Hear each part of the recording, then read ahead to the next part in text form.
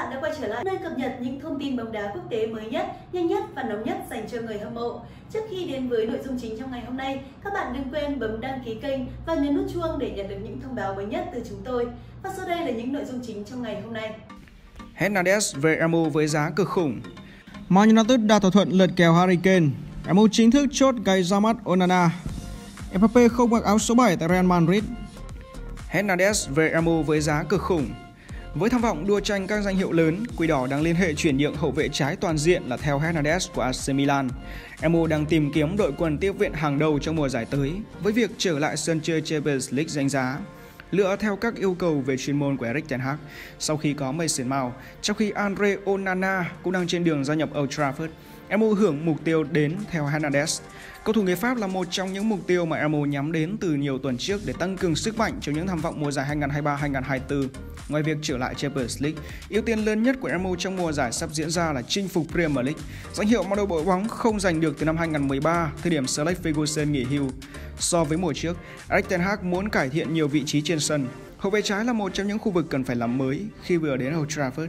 Ten Hag chiêu mộ theo Malaysia. Tuy nhiên, cầu thủ đồng hương người Hà Lan chưa đáp ứng được những gì mà ông kỳ vọng.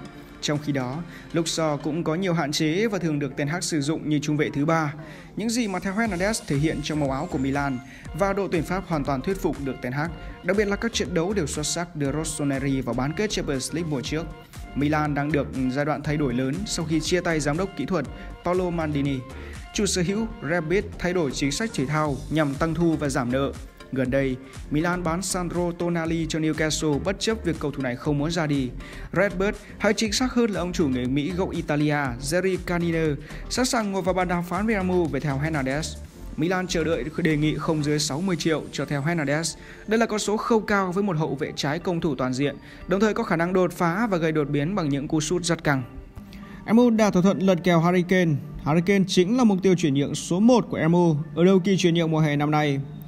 Tương lai của đội trưởng Tottenham và đội tuyển Anh Harry Kane chưa có gì là rõ ràng cả, không giống như một năm trước khi tiền đạo này công khai bày tỏ mong muốn ra đi do được Man City quan tâm mạnh mẽ. Kane đang giữ một bầu không khí im lặng đáng ngại.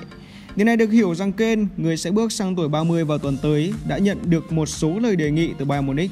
Gần như tiền đạo này đã hứa với gã khổng lồ nước Đức rằng anh muốn chuyển tới Đức chơi bóng trong mùa hè năm nay. Ban lãnh đạo của Bayern thêm dầu vào lửa khi công khai tuyên bố rằng quán át chủ bài người Anh phải giữ lời. Chủ tịch nổi tiếng khó tính là Levy được cho rất tức giận trước hành động của Bayern và không muốn đàm phán. Do vậy, tại thời điểm khá bất ngờ này, Man United và huấn luyện viên trưởng Erik ten Hag hoàn toàn có cơ hội lật kèo Kane. Chỉ hơn 12 tháng trước, Levy và Spurs ngăn cản Kane không cho anh gia nhập Man City. Lý do là họ quyết tâm không cho phép ngôi sao sáng giá và tài sản lớn nhất của đội bóng gia nhập một đối thủ tại Premier League. Man xanh đầy tập trung, sự chú ý và chiêu mộ Erling Haaland.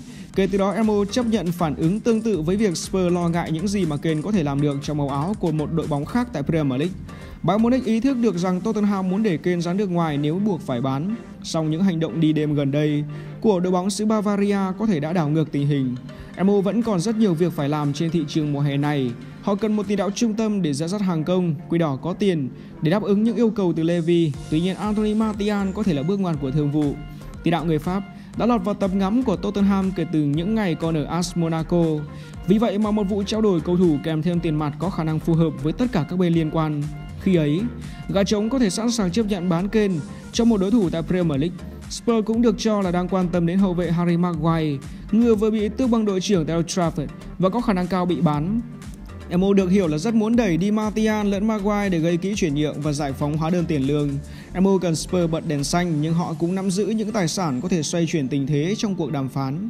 Việc chiêu mộ Kane sẽ mang đến cho ông Ten Hag một trung phòng đích thực mà ông đã khát khao kể từ khi đặt chân đến Old Trafford. MU cần phải quyết liệt hành động và thời gian thì có thể là câu trả lời cho thương vụ này.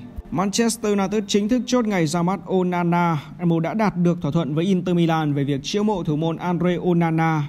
Dạng sáng ngày 17 tháng 7 theo giờ Việt Nam từ Daily Mail của Anh lẫn từ Gazzetta dello Sport của Italia. Đầu loạt xác nhận MU và Inter Milan đã thống nhất được mức phí dành cho thủ môn Onana. Theo đó, Quỷ Đỏ sẽ trả cho nhà đương kim áo quân Champions League 43 triệu bảng đã bao gồm phụ phí. Onana cũng đã đồng ý các điều khoản cá nhân với MU và dự kiến sẽ ký hợp đồng 5 năm với đội chủ sân Old Trafford.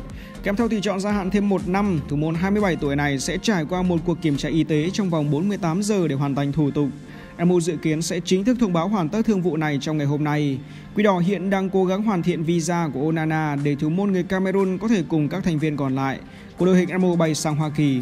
Tờ Daily Mail tiết lộ thêm, Onana có thể ra mắt MU trong trận đấu giao hữu với Arsenal tại New Jersey vào cuối tuần này. Ngoài trận đấu đó ra, Quỷ đỏ còn có hai cuộc đối đầu với Real Madrid và Dortmund trong chuyến du đấu hè tại xứ cờ Hoa. Onana, người từng chơi giữa quyền của ông Ten Hag tại Ajax, sẽ trở thành bản hợp đồng thứ hai của MU trong kỳ chuyển nhượng mùa hè này sau khi tiền vệ Mason Mount gia nhập Chelsea trị giá 60 triệu bảng. Onana được kỳ vọng sẽ lấp đầy khoảng trống mà David De Gea để lại, người đã rời MU theo dạng cầu thủ tự do sau 12 năm gắn bó với đội chủ sân Old Trafford. Sau khi thỏa thuận mua Onana hoàn tất, Quỷ đỏ sẽ tập trung vào việc mua về một tiền đạo mới trước khi kỳ chuyển nhượng mùa hè kết thúc. Tiền đạo Rasmus Holland của Atalanta hiện đang là mục tiêu hàng đầu của MU. Nhưng đội bóng Italia cho đến nay đã từ chối mọi lời đề nghị và đang yêu cầu một khoản phí lên đến 86 triệu bảng. Mbappe không mặc áo số 7 tại Real Madrid. Ngôi sao của PSG muốn chuyển từ áo số 7 thường mặc của mình ở câu lạc bộ sang áo số 10 của Luka Modric khi anh chuyển đến sân Santiago Bernabeu. Dù hiện tại anh vẫn chưa quyết định rõ ràng về tương lai, Kylian Mbappe vẫn chưa biết tương lai của mình ra sao đã bắt đầu đưa ra các quy định liên quan đến việc chuyển đến Real Madrid vào mùa hè tới. Theo một nguồn tin trên El Nacional, Mbappe đã thông báo cho Real Madrid biết rằng anh muốn sử dụng áo số 10 từ tháng 6 năm sau. Tuy nhiên, Mbappe sẵn sàng chờ đợi cho đến khi Modric rời câu lạc bộ, trừ khi ngôi sao người Croatia gia hạn hợp đồng tại Real, thì tài năng trẻ người Pháp mới công khai mặc áo thi đấu này.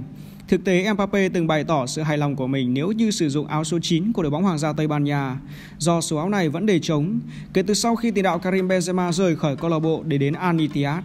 Và nguyên nhân do Mbappe không có ý định giữ áo số 7 khi chuyển sang Real Madrid vì anh không muốn bị đặt nặng gánh là một Ronaldo mới. Nhà tài trợ của Real cũng đang thúc đẩy Mbappe sử dụng áo số 10 và muốn áo số 9 được trao cho Enric, người sẽ gia nhập câu lạc bộ từ mùa hè tới. Trong khi đó thì chủ tịch PSG Nasser Al-Khelaifi đã tiết lộ rằng họ đang cố gắng bán Kylian Mbappe trong mùa hè này nếu như anh không gia hạn hợp đồng. Ngôi sao người Pháp chỉ còn 12 tháng cuối cùng tại PSG và không ngần ngại lên tiếng về việc anh sẽ không gia hạn thêm một năm nữa tại sân Parc des Princes. Chính vì vậy, PSG rất tức giận với quyết định của Mbappe và không muốn mất tiền đền bù cho tiền đạo này vào mùa hè sau.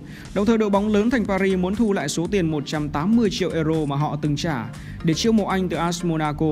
Người đứng đầu của đội bóng vô địch Ligue 1 đã nói với Le Parisien Chúng tôi muốn Mbappe ở lại và không thể cho anh ấy ra đi miễn phí. Đó là thỏa thuận của chúng tôi và Mbappe đã công khai thừa nhận điều đó trong cuộc phỏng vấn. Vì vậy, chúng tôi không nhất thiết phải tranh cãi. Tôi thực sự sốc khi biết rằng Mbappe dự định ra đi miễn phí. Chủ tịch Al Khelaifi cũng nói thêm rằng PSG cảm thấy rất thất vọng vì Mbappe là một chàng trai tuyệt vời, một người đàn ông lịch sự lại chọn cách hành xử như vậy. Và với suy nghĩ ra đi miễn phí của Mbappe để rồi làm suy yếu đội bóng lớn nhất của Pháp, đó không phải là cách duy nhất anh ấy lựa chọn và nên làm. Khi tôi nhận được thông tin này, tôi thực sự đã bị sốc và thất vọng. Mbappe sẽ tiếp tục ở lại PSG thêm một năm nữa hoặc phải ra đi ngay bây giờ. PSG tin rằng Mbappe đã có thỏa thuận với Real Madrid và hy vọng đội bóng Tây Ban Nha sẽ tiến hành thương vụ này trong mùa hè năm sau.